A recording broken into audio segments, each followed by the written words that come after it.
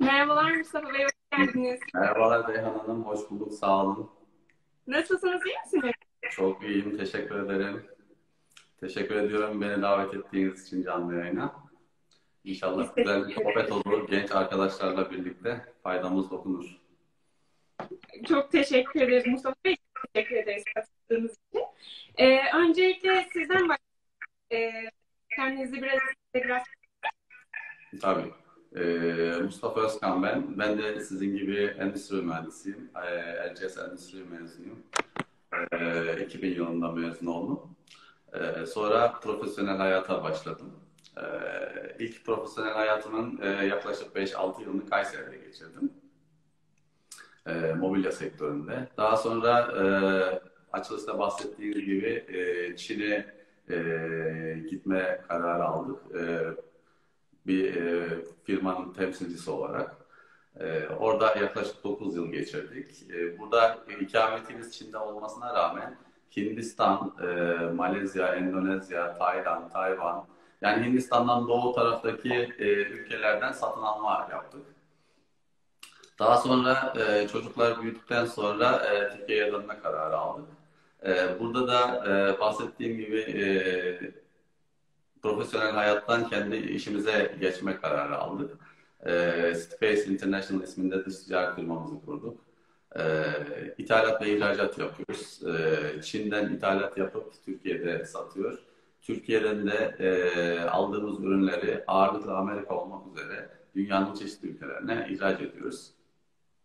E, güncel bir konu olarak da bahsettiğiniz gibi e, Simfer AŞ'nin de satın alma direktörü olarak çalışıyorum şu anda. E, iki işi birlikte götürmeye çalışıyoruz. E, bu şekilde. Tamamdır. Mustafa Bey, bize e, biraz Çin maceranızdan bahseder misiniz? Nasıl başladınız? Neden gittiniz? Gittiğiniz Şimdi e, Çin macerasından ziyade benim gerçekten üniversite hayatım boyunca da yurt dışına gitmek, yurt dışında yaşamak, yurt dışında çalışmak gibi bir hayalim vardı her zaman. Ee, üniversitedeyken de e, bir e, kulüp var AJ diye. E, onun kurulumunda bulunduk arkadaşlarla beraber. İlk yurt dışı maceramı da onunla yapmıştım. Üniversite son sınıfta Paris'e gitmiştik arkadaşlarla. Ondan sonra profesyonel hayata geçtikten sonra çeşitli seyahatlerim oldu. Daha sonra e, kısa bir süre e, yabancı dil eğitimi için e, Londra'da e, ikamet ettim. Arkasından da e, Çin'e geçtim. E, Çin benim e, son e, ikamet olarak yabancı ülke durağımdı.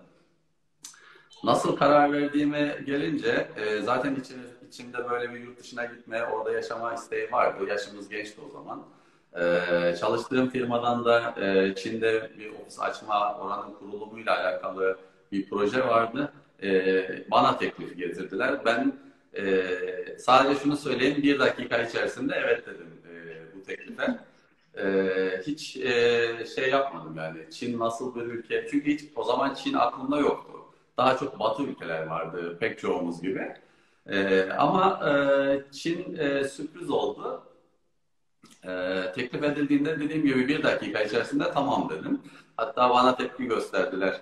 E, bir ailenle konuş, istişare et, hemen cevap verme diye. Ama ben hayır tamam onlarla yine konuşacağım ama e, teklifi kabul ediyorum diyerek e, Çin'e gitme kararı aldık. E, dediğim gibi gideceğim ülkenin neye benzediğini, e, insanların nasıl yaşadığını e, hiçbir şey hakkında fikrim yoktu. E, ama ön yargılı da değildim yani bu konuda. Ama şunu söyleyebilirim, e, 2006 yılında gittim. E, burada e, ben açıkçası pozitif yönde e, biraz şoka uğradım diyebilirim. Hani Çin'i daha çok televizyonlardan, filmlerden böyle ahşap evler, e, e, fakir insanlar falan e, izliyorduk.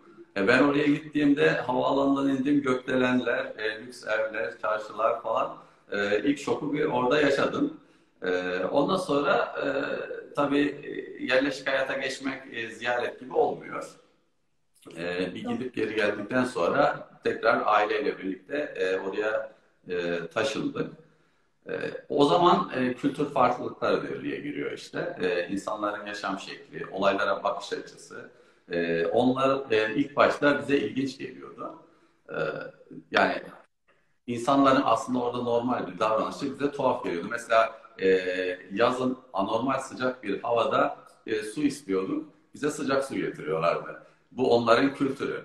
E, biz tuhaf karşılıyorduk. Soğuk su yok mu falan diyorduk. Yüzümüze bakıyorlardı. Nasıl yani soğuk su mu içeceksiniz falan diye.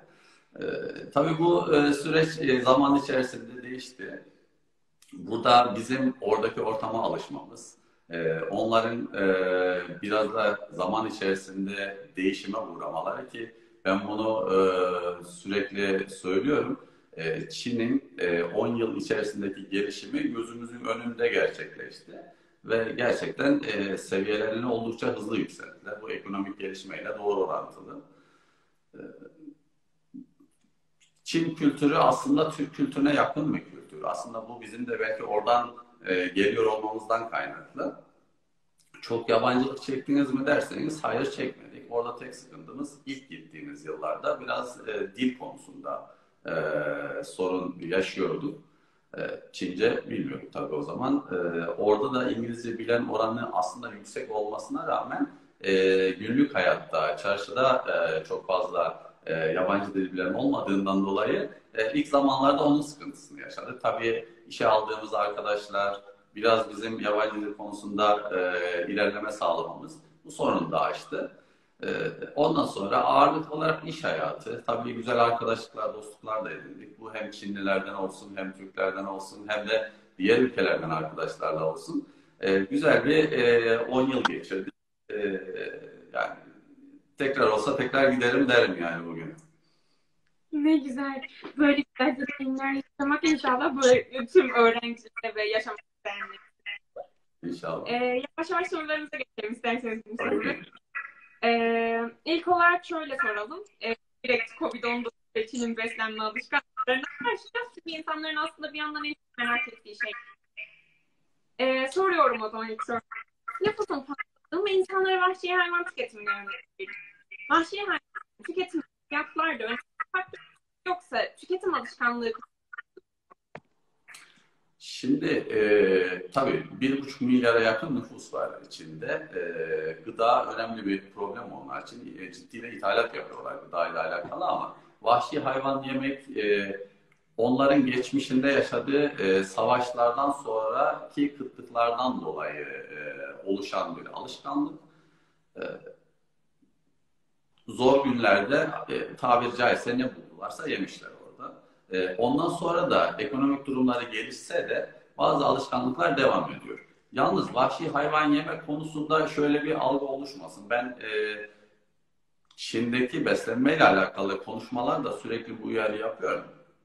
Çin'le alakalı e, bazı ön yargıları bizim televizyon kanallarındaki seyahat programlarından genelde insanlar ediniyor hani oraya gidip görmeyen insanların genel bir algısı vardır yani. Ee, bana ilk sorulan şey orada böcek yedin mi? Aslında Çin'in e, günlük hayatında e, vahşi hayvan yemek çok yaygın bir şey değil.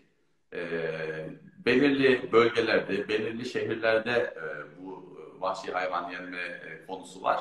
Burada deniz ürünlerini vahşi hayvanlardan ayrı tutmak istiyorum. Deniz ürünleri konusunda özel deniz ürünleri restoranları var. Burada işte yılanmış, salyangozmuş, kurbağaymış. Bu tarz hayvanları e, insanlar e, günlük olarak tüketiyorlar. E, yalnız ben bunu vahşi hayvan olarak da çok algılamıyorum. Belki size şimdi ben söyleyince tuhaf gelecek ama insan belli bir süre o restoranlara gidince e, gözünüz alışıyor zaten. Ayrıca burada kritik yapan pek çok Türk arkadaşımız da oraya geldiğinde denemek için e, bunlardan tadıyorlar yani. Ben henüz tatmadım. En fazla yediğim garip e, hayvan derseniz karides yedim en fazla ama hani buradan gelip de kurbağa, salyangoz yiyen çok insan var. Bunları vahşi hayvan olarak algılamıyorum. Ee, vahşi hayvan olarak kedi, köpek, kurbağa tarzı, özür dilerim, kurbağa, e, fare tarzı falan hayvanlardan bahsedecek olursak da hani bunlar gerçekten marjinal diyeceğimiz seviyede. Anormal seviyede tüketilen bir e, şey değil. Yalnız burada şunu da ayırmak istiyorum. Şimdi Çin çok büyük bir e, ülke. E, içerisinde 54 farklı e, etnisite diyebilirim e, var. Eyaletleri çok fazla e, ve en e, uç çapraz iki noktasına uçakla 5-6 saatte gidiyorsunuz. E, o kadar e, mesafeler farklı ve bu bölgelerde de kültür seviyesinde, beslenme seviyesinde ayrışmalar var. E, mesela duymuşsunuzdur televizyonlarda köpek festivali. E, yani e, insanlar o festivalde gerçekten köpek yiyorlar. Ama normal e, Şanghay'da, e, Pekin'de aşırı derecede böyle vahşi hayvan yeme durumu var mı derseniz kesinlikle hayır. Hatta insanlara e, şunu söylesem belki yadırgayacaklardır beni. E, ben Çin'in e, yaklaşık %50'den fazlasını ilçe kasaba seviyesinde gezmiş biriyim iş gereği. Hani en azından bir içinden geçmişimdir veya e, bir gece kalmışımdır. Yani ciddi oranda e, şehrinde bulundum. Ama mesela bir köpek restoranı görmedim ben. E, evet yani e, kaldı ki sürekli western restoranlarda yemek yiyen birisi de değil. Ee, sürekli local restoranlarda yemek yemeye çalışıyorum. Özellikle küçük yerlerde de zaten bu tarz restoranlar yok. Oralarda da böyle e, garip hayvanlar e, yeniyor mu? Maymunmuş, köpekmiş, kediymiş, fareymiş. Hayır. E, bir kere tatil için gittiğim bir bölgede o bahsettiğiniz şekilde fareleri, e, kurbağaları gördüm. Kurtulmuş şekilde satıp orada da yiyorlardı. Ama aşırı derecede e, yaygın bir e, pratik değil yani vahşi hayvan yemesi. E, İlla ki ekonomik durumu iyi olmayan veya e, iç bölgelerde, daha az gelişmiş bölgelerde vardır. Fakat gelişmiş bölge şehirlerde, Guangzhou, Şanghay, Beijing, Ningbo, bu tarz şehirlerde çok yaygın bir pratik değil yani. Tamamdır. İkinci sorumuzu da cevaplamış olduk. E, bölgelere göre dağılımını soracak. O yüzden direkt üçüncü sorumuza geçiyoruz.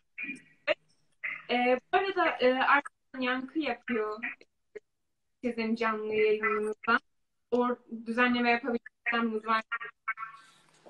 Biraz daha yaklaşırsam belki düzelir. Tamamdır. Ee, şöyle e, soruyorum. Ee, Çin'de e, vahşi, vahşi hayvanlardan ya da beslenme şekillerinden kaynaklar var mı? Ya da Çin'e e, özgü kalmış, anneme haline dönüşmemiş salgın hastalıklar var mı? Böyle yaygın olarak e, zaten sizin de bildiğiniz bir SARS e, hastalığı vardı. Bu çok Çin dışına çıkmadı. Benim yaşadığım Guangzhou şehri civarında başlamış e, bir hastalıktı bu. Ama Çin içerisinde kontrol altına aldılar. E, onun haricinde benim yaşadığım yıllar içerisinde duyduğum bir salgın hastalık olmadı. Zaten bu vahşi hayvandaki virüslerin insanlara geçmesi de e, eminim pek çok arkadaş takip etmiştir e, DNA'daki bozuklukların e, milyonda bir de olsa eşleşik iki canlı arasında geçişinden kaynaklı. Yani ihtimal çok düşük bir e, olasılık. E, o da dediğim gibi bildiğim en son SARS vardı. Onun haricinde e, COVID-19 çıktı. Öyle yaygın bir e, hastalık görülmedi en son 10-15 yıl içerisinde. Tamamdır. Çok teşekkür ederim. Şimdi biraz da e, Çin'de yaşam konusuna geçelim. Çin'de özellikle sonu ya da var mı?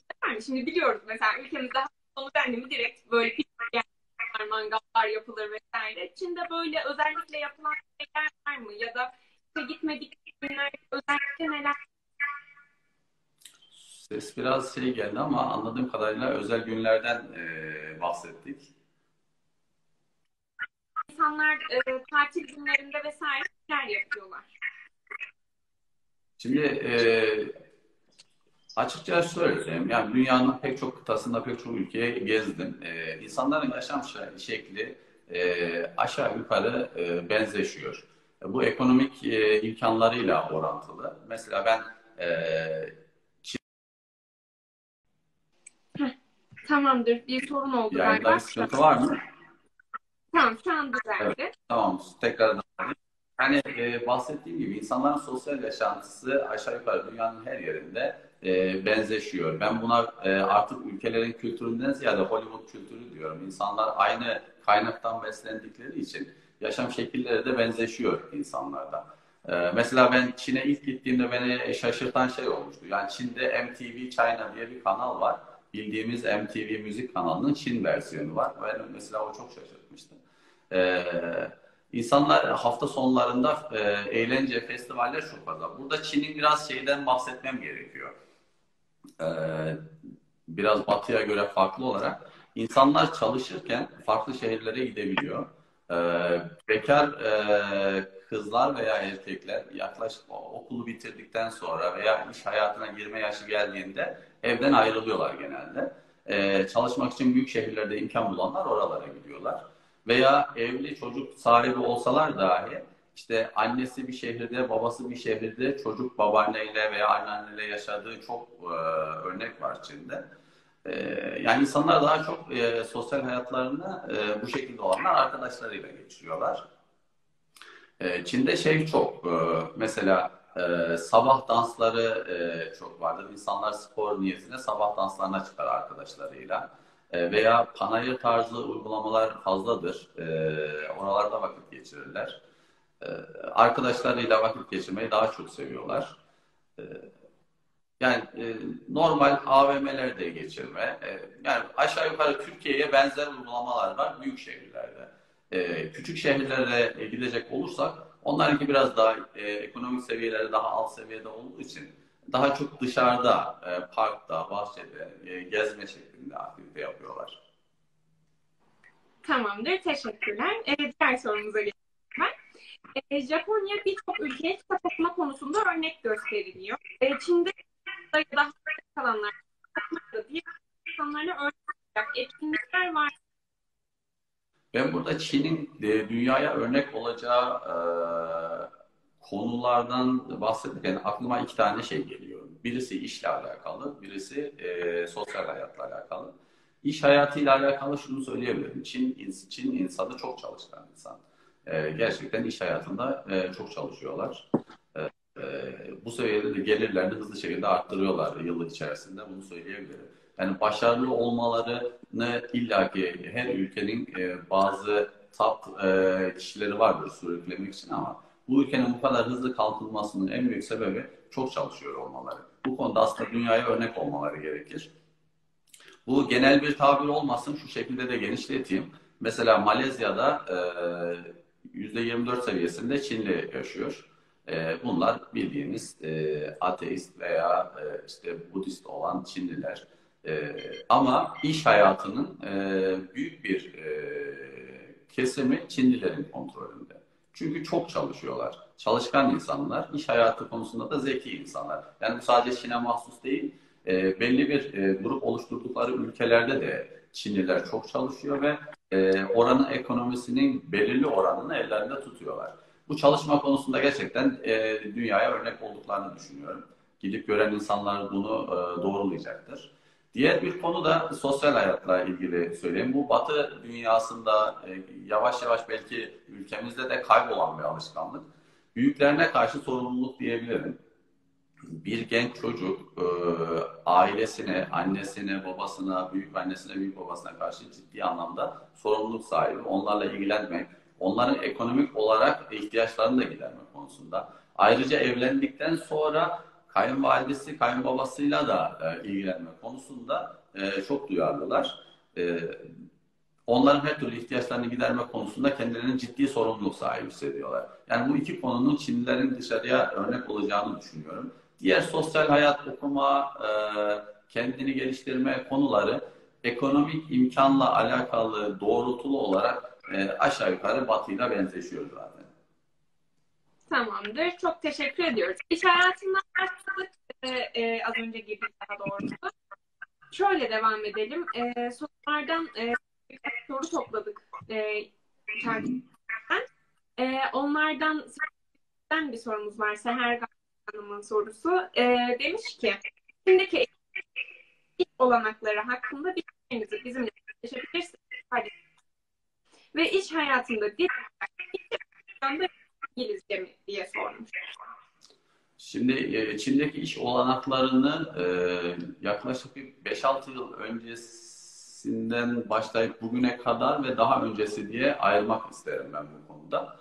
E, çünkü mesela ben Çin'e ilk gittiğim yıllarda insanların işle ilgili kaygısı pek yoktu. Mesela öğle saat 12'de işten ayrılan birisi saat 1'de başka bir ofiste veya başka bir fabrikada işe başlayabiliyordu. İş konusunda o kadar e, rahattılar. Ama e, son 6-7 yılda demek istiyorum dünyadaki ekonomik gelişmeleri e, çerçevesinde siparişlerin azalması, ülkelerin biraz daha koruyucu politika izlemesi, e, ithalat konusunda e, fabrikaların ve şirketlerin iş hacmini daralttığı için insanların iş kaygısı orada da oluşmaya başladı. E, tabii e, ben her zaman şunu söylüyorum, kendini yetiştirmiş, donanımlı, e, iş konusunda kabiliyetli insanların kriz zamanında da iş bulması kolay. Ama e, normal e, okul hayatını normal geçirmiş, sonra e, dışarıya çıkıp iş bulmak isteyen veya iş hayatında kendini çok fazla geliştirememiş insanların şu son dönemde iş bulması biraz sıkıntı. Orada da bu şekilde e, sıkıntılar başladı. Gelir seviyesini e, kıyaslamak istersek işle alakalı olarak söylüyorum. E, askeri ücret Türkiye'nin üzerine çıktı orada. Aslında şu anda Çin'de ucuz işçilik yok. Yani peki neden Çin malları ucuz derseniz burada biraz devlet e, politikaları, teşvikten bahsetmiyorum. Devlet teşvikleri yıllar önce e, kaldırıldı. Devlet politikası ve biraz da coğrafi olarak insanların ürünleri gruplamasından kaynaklı e, ve de seri üretimden kaynaklı ucuzluk hala devam ediyor. Ama asgari ücret artık Türkiye'den ucuz değil. E, ofis çalışanları için de e, bahsetmek istiyorum. E, iyi bir e, ofis çalışanı e, Türkiye'nin 2-3 katı maaşla işe başlıyor orada. Mesela e, ben kendi ofisime aldığım arkadaşları iyi üniversitelerden, iyi bölümlerden seçiyordum. E, bazen kıyaslama yapardım. Türkiye'deki 5 e, yıllık e, çalışan bir elemanla aşağı yukarı aynı seviyede başlıyordu işe. E, maaşlar konusunda biraz daha avantajlılar. Ama orada şöyle bir e, durum var. İnsanlar performansına göre maaş alıyorlar. Belli bir temel maaş var. Arkasından yaptıkları iş e, üzerinden maaş aldıkları için e, performansları da yüksek arkadaşlarım orada. Yabancı dil konusuna gelince e, iş hayatında yabancılar İngilizceyi daha çok tercih ediyor. Çince bilse dahi özellikle benim mesela kullandığım bir taktikti bu. Çünkü Çinli insanlarla Çince iş konuşmaya başladığınız zaman biraz daha özgüvenleri yüksek oluyor. E, ama İngilizce konuştuğunuz zaman daha e, verimli sonuç alabiliyorsunuz. Ben ofisimdeki Çinli arkadaşlara bile firmalarla zorda kalmadıkları müddetçe Çince konuşmamaları telkininde bulunuyordum. E, yani zaten e, Çin'de üniversiteden mezun olan e, pek çok kişi İngilizce bilerek mezun oluyor. Ticari hayat yönünde. E, Çince bilmeyen insanlar da daha çok hani ihracat değil diğer e, alanlarda işte muhasebe, üretim vesaire alanlarında görev alıyorlar.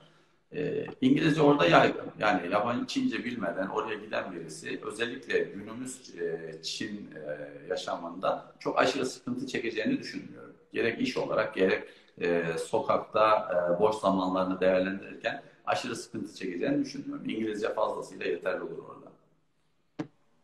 Tamamdır. Çok teşekkür ederiz.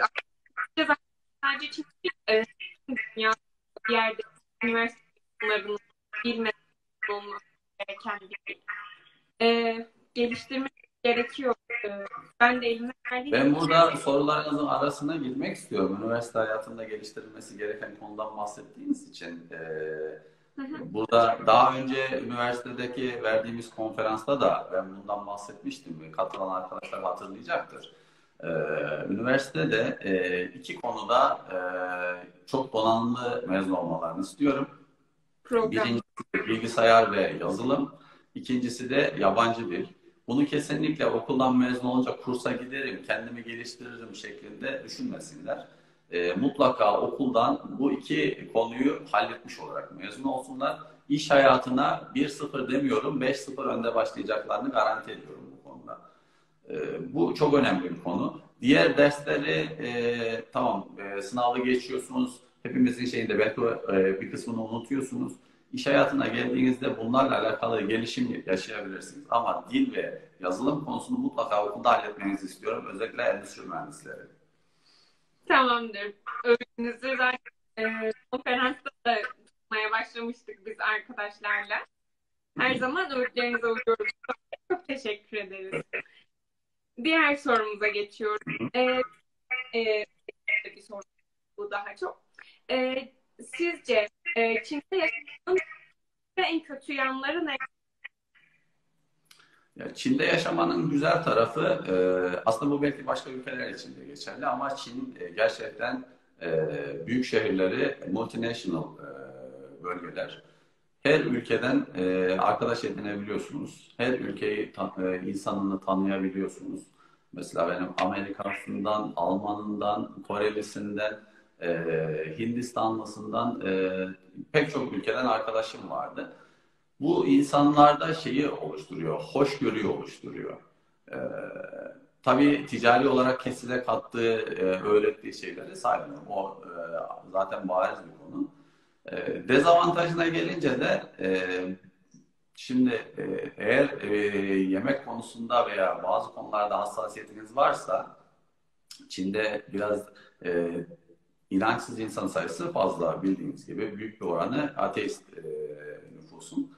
Ee, bir kısmı büyük bir çoğunluğu Budist, e, az miktar Hristiyan ve Müslüman var. Ee, burada e, kendi yaşam tarzınıza uygun e, yemek konusunda biraz sıkıntı çekebilirsiniz. E, bunu da dediğim gibi alışma sürecine kadar. Ondan sonra çok aşırı bir sıkıntı onda da yaşamıyorsunuz. Kötü yanı diyebileceğim çok aşırı bir şey görmedim ben. Yani Çin'in ülke olarak güzel bir ülke yaşanabilecek bir ülke. Ee, şehir olarak e, bulunduğumuz şehirler gerçekten güzel şehirlerdi. Mesela ben şöyle söyleyeyim size. Ben Amerika'ya, Çin'e gittikten sonra gittim tatil için. Ee, mesela e, hepimizin çok iyi imrenerek televizyondan izlediği Los Angeles'ı çok beğenmemiştim. Yani bir Şangay'la veya bir Guangzhou'yla kıyasladığımızda e, çok e, Hatta bir tık üstte diyebilirim. Hatta bunu Amerika'dan gelen arkadaşlarım da aynı şeyi söylüyorlar. Bunu canlı olarak yaşadım. Hani Çin e, konusunda e, tecrübeli olan insanlarda bunu duyarsınız.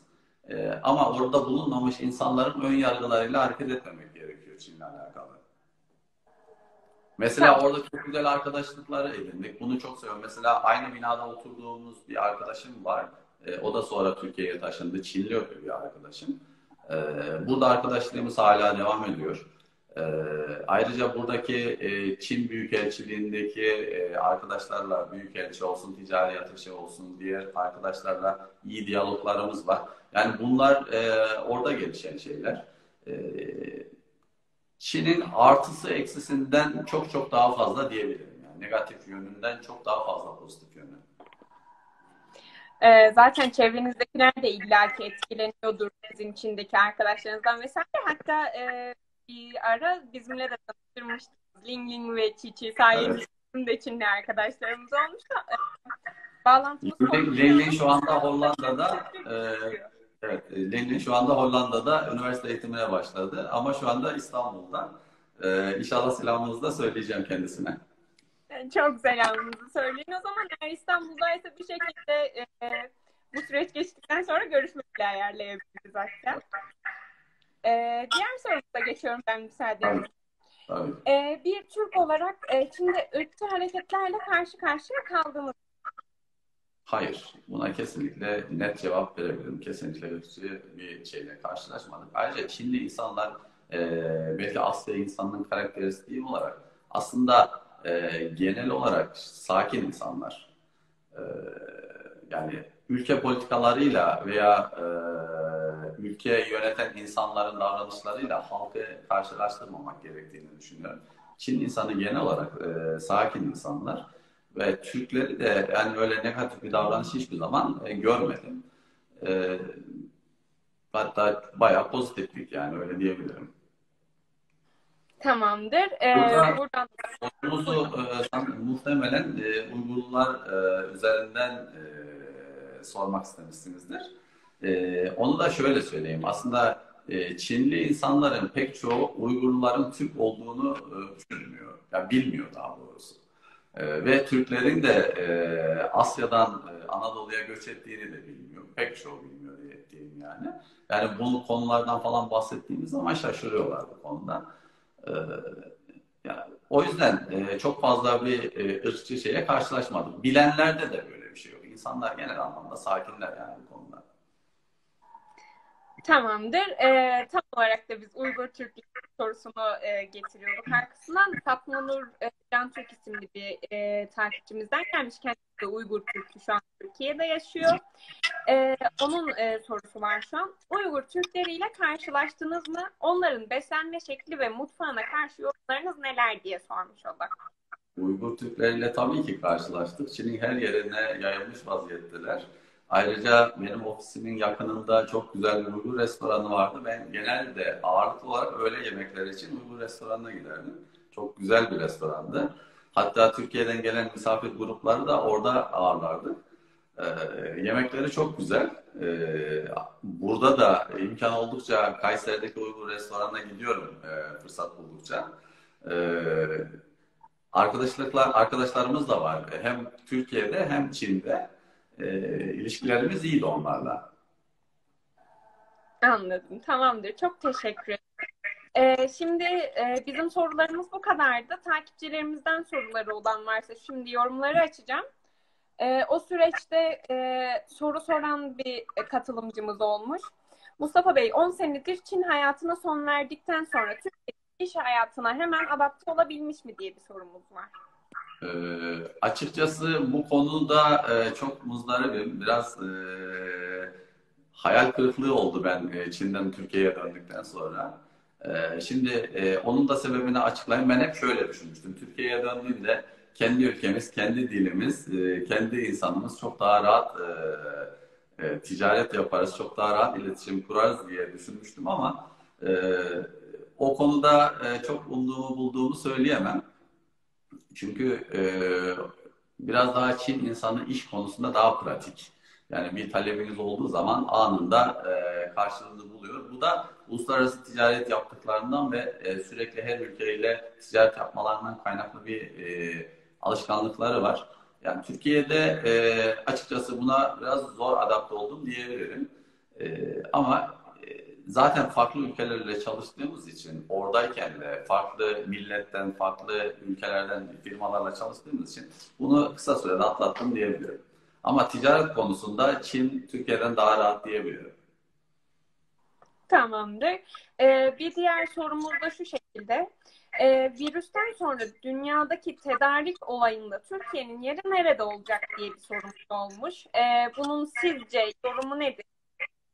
Şimdi bunu e, belli kademelerde açıklamamız gerekiyor. E, Çin'de pandemi e, başlayıp e, Çin hayatı kapattığında e, ciddi oranda dünyanın diğer bölgelerine talepler yoğunlaştı. Mesela biz de Türkiye'de e, Çin'den aldığımız ham maddeleri dışarıdan veya Türkiye içerisinden e, talep etmeye başladık.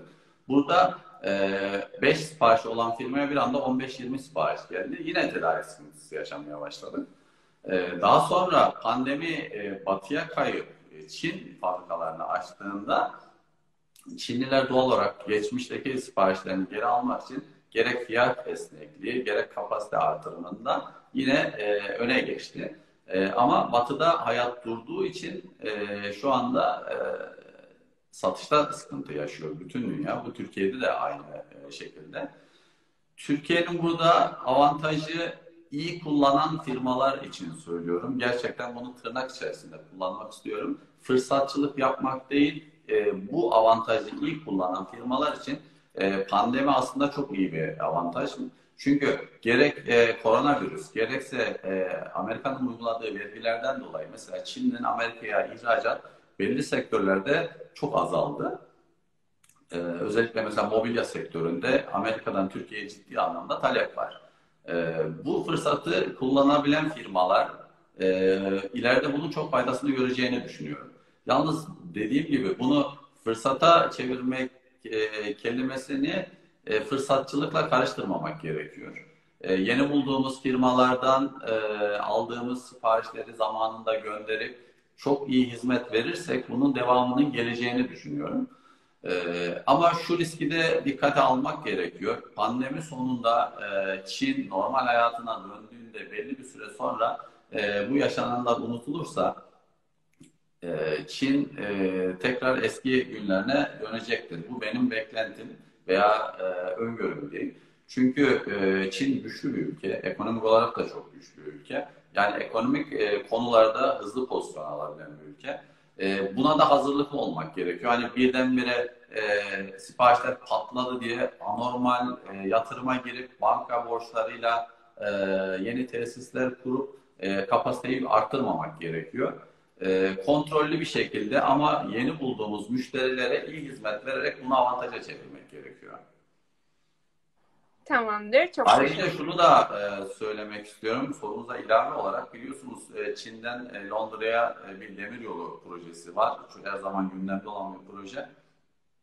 Bu projeyle e, e, nakliye deniz yolundan demir yoluna geçtiğinde yaklaşık 35-40 günde giden e, konteynerlar e, demir yoluyla 10-15 güne e, düşecek. E, Avrupa'dan Türkiye'ye gelen siparişlerin belli bir oranı bu kısa sevkiyat e, sebebiyle geliyor. Çin'in bu demiryolunu açmasından sonra Türk firmalarında ciddi e, sıkıntılar olabilir. İnsanların da bunu e, dikkate alması gerekiyor. Çok sanayide konuşulduğunu duymuyorum. Ama bu e, yakın tarihte ciddi bir risk e, Türk sanayisi için. Tamamdır. Çok teşekkür ediyoruz. Bir diğer sorumuz var. Ee, merhabalar Mustafa Bey. Değişim öğrencisi olmak isteyen bir seçenekler arasında nasıl bir sırada bulundurmalı? Ee, nasıl zorluklarla karşılaşabileceğini öngörüyorsunuz? Teşekkürler demiş. Teşekkür ederim. Sorunun başına bir daha alabilir miyim? Ne öğrencisi olmak istiyorsun? Değişim öğrencisi, e, Erasmus vesaire.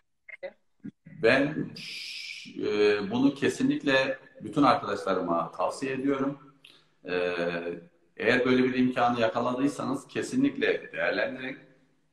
Çünkü yurt dışına gitmek, orada e, farklı ortamda bulunmak, farklı e, insanlarla tanışmak sizin vizyonunuzu ve bakış açınızı değiştirecektir. E, ben size e, bunu öneriyor musunuz, önermiyor musunuz kısmına şu şekilde cevap vereyim. Ben e, eleman işe alırken e, bir tane kriterim vardır.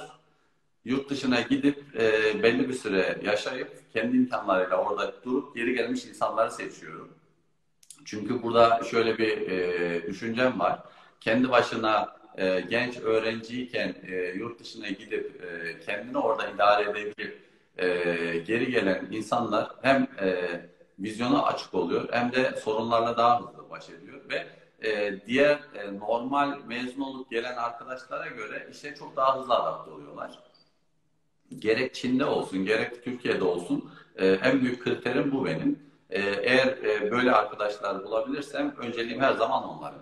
O yüzden söylüyorum, e, gerek değişim öğrencisi olma konusunda olsun, gerekse e, okul arasında veya okul mezun olduktan sonra e, belli bir süre yurt dışına gidip birkaç ay dahi olsa orada gerek çalışma, gerek eğitim herkesin gitmesini tavsiye ediyorum. Burada tabii illaki ekonomik e, imkanlar e, kısıtlayıcı olabilir. Bazı arkadaşların ekonomik durumu iyi olmayabilir. Ama e, burada da şunu söylüyorum. E, yurt dışına gitmenin sadece bir yolu yok. E, farklı farklı yolları var. E, bunları değerlendirmesini, araştırmasını bütün arkadaşlara e, şiddetle tavsiye ediyorum. Mutlaka ve mutlaka bunu e, kullanın. Özellikle okul hayatında. Tamamdır. Bir sorumuz daha geldi. E, virüs sürecinde şahit olduk ki Çin halkı ciddi bir disipline sahip. Bu disiplinde değerler, eğitimin, kültürün nasıl bir etkisi olduğunu düşünüyorsunuz denmiş. Şimdi Çin kültürün değerler eğitimi derken e, burada normal eğitim sistemini de e, şey yapmak lazım, dikkate almak lazım. Ya Çin insanı e, kurallara uyan insanlar. Tam e, hani e, kültür batıyla aynı diyemeyeceğim. E, kurallara uyan insanlar. E, eğitimde insanların kurallara uymasını e, zorunlu hale getiriyor. Bunun mesela ben size çocuğumdan örnek vereyim. E, orada e, gittiği okulda e, bu değerler eğitimini günlük hayatta yapıp e, alıp normal e, hayatında da uyguluyordu. Mesela buraya geldiğinde okula ilk başladığında yaşadığı bir şoktan bahsedeyim size. E, koridorda arkadaşlarının sürekli koşmasını çok yadırgıyordu. Öğretmenlerin koşmayın dediği halde. Yani eve geldiğinde öğretmenlerimiz koridorda koşmayın diyor ama bütün arkadaşlarım koşuyor anlamıyorum arkadaşlarımı diyordu. Yani bu şey var. Şu insanların biraz eğitim şekli ve bu aldığı değerler eğitimini uygulamasıyla da alakalı. Fakat e, virüsle alakalı e, konuda da şunu e, söylemek istiyorum. E, Çin devleti e, güçlü bir devlet. E, vatandaşına sert kurallar koydu bununla alakalı. Ama Batı'yla Çin arasındaki fark e, şu. Batı'da belki ülkeler bazı kuralları koymakta geç kalmış olabilir ama insanlar bu kurallara uymadılar. Bu Türkiye için de geçerli. Hala görüyorum. Sokakta maskesiz dolaşanlar, yan yana kol kola gezenler hala sokakta var. Ama Çin'de devlet bir kural koyduysa Çinli insanlar bunu 2-3 uyguladılar. Ee, gerçekten virüs konusunda tedbirlerini en üst seviyede tuttular. Ee, o yüzden de bir buçuk ay gibi kısa sürede çok ciddi yol aldılar. Hani insanlar bana söylüyorlar, Çin'deki rakamlar gerçek değil, yalan söylüyorlar. Bir buçuk milyar e, insanın olduğu yerde rakamlar bu kadar düşük olamaz diyorlar. Ama ben şiddetle olabileceğini iddia ediyorum. Çünkü e, zaten virüs rakamlarının yüzde 85-90'ı sadece Wuhan şehrinde. Virüs ortaya çıktıktan sonra Wuhan'ın kapılarını kapattılar. Dışarıya çok fazla çıkış olmadı. E, diğer şehirlerdeki insanlar da kurallara son derece katı bir şekilde uydukları için virüs çok fazla yayılmadı içinde. Ama batıya geçtiğinde bahsettiğim gibi insanlar bunu çok ciddiye almadılar ilk başta. Kurallara uymadılar. Hala da uymuyorlar. O yüzden de batıda bunun yayılması normal diye düşünüyorum. Tamamdır. Çok teşekkür ediyoruz. Ee, son bir soru alalım artık. Ee, yani son bir sorumuzu cevaplayalım. Daha fazla düşünmeden. Ee, düşünce olarak hep Türkiye Çin'den ithalat e, yapıyor şeklinde görünüyor. Peki Türkiye'den Çin'e yapılan ihracat ne düzeyde? Ee, çok düşük düzeyde. çok düşük düzeyde. Bunun iki türlü sebebi var. Ee, birincisi e, Türk firmalarının e, Çin'e e, ihracat yapış şekli veya Çin'e bakış açısıyla alakalı. Diğeri de Çin'in kendi iç dinamikleriyle alakalı. Önce Çin'in iç dinamiklerinden bahsedeyim. Şimdi Çin'de iki türlü talep var. Birincisi ucuz ürün, ikincisi lüks ürün. E, ucuz ürünü zaten Çin'den ucuz üretemiyoruz. E, lüks üründe de e, çok zengin e, kesim özellikle marka talep ediyor. Burada da maalesef maalesef Türkiye'nin en büyük zafiyetlerinden birisi dünya çapında markamızın olmaması ihracat konusunda bizi çok zayıflatıyor. Çin'e yaptığımız ihracatlardan en büyük şey ham madde e, düzeyinde. İşte bakır, çinko vesaire, mermer. E, bu tarz e, ürünleri daha çok ihraç ediyoruz. E, ithalat konusunda da e, maalesef fiyat farkından dolayı e, ithalatın oranımız çok yüksek.